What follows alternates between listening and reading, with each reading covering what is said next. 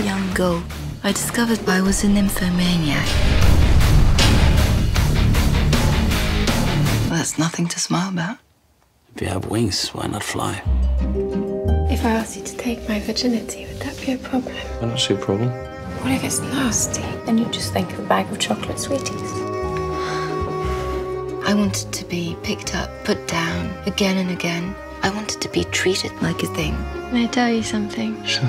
You're my first Really? I love you. And was starting to have trouble remembering who was who. I've thought about you often. Have you thought of me? Wow. Would it be all right if I show the children the whoring bed? You can't make an omelette without breaking a few eggs. Ah!